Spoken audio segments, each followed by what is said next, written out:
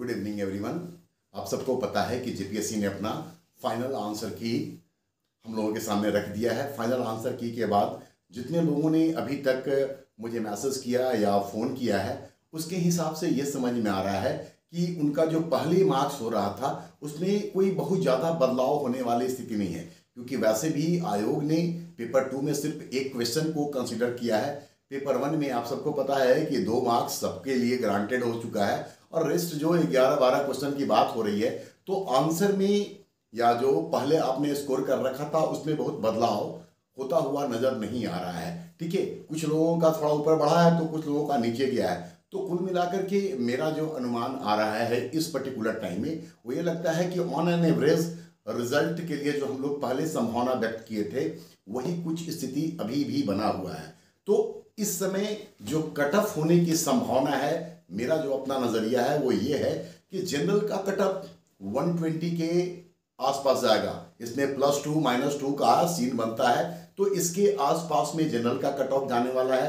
EWS e और BC के one या टू बहुत ज़्यादा अंतर नहीं पड़ेगा। एक, दो नंबर का इधर उधर हो तो अलग बात है। अदरवाइज़ जो जनरल का कट ऑफ़ होगा ईडब्ल्यूएस e का थोड़ा सा नीचे एक नंबर आप कर लीजिए, ठीक है? तो कमोबेश उसी स्कोर पर होने जा रहा है। बीसी वन और टू का भी कमोबेश एक दो नंबर ही आगे पीछे होगा, या फिर बिल्कुल जनरल और बीसी का लगभग बराबर होने जा रहा है, ठीक है? इसके अलावा एसटी का कट ऑफ़, ऐसा नहीं है कि जनरल और एसटी में बहुत ज़्यादा अंतर होने का स्थिति मुझे नज़र आता है।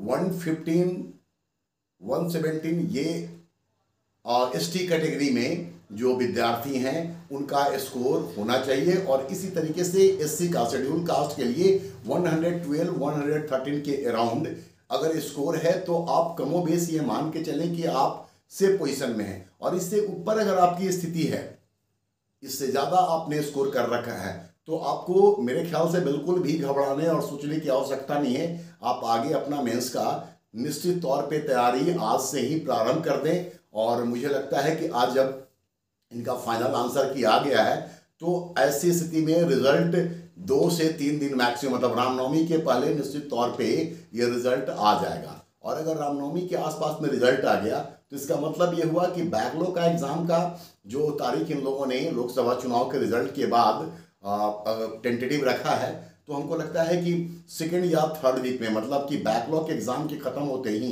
इसको भी कहीं ना कहीं स्टार्ट कर दिया जाएगा। तो कुल मिलाकर के कितना वक्त आपके हाथ में है, इस बात को देख लीजिए। और इसके अराउंड अगर आपका स्कोर है, जो मैंने अभी बताया है तो आप अपनी तैयारी को आगे बढ़ाने का काम कीजिए। दो से तीन दिन में अगर रिज़ल्ट ये आ जाता है, जिसकी संभावना प्रबल हो गई है तो फिर हम लोग एक आगे की रणनीति पर बात करेंगे और फिर हम लोग चर्चा करेंगे कि कितना जो वक्त बचा है, हम लोगों को अब क्या कर लेना चाहिए। तो मेरी शुभकामनाएँ हैं आप लोगों के साथ।